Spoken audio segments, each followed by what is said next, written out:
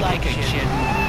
One, delivered. Just, just log on to petsovernight.com and we'll send you a cute kit overnight. Petsovernight.com, delivering little muzzles of love in a box directly to your door.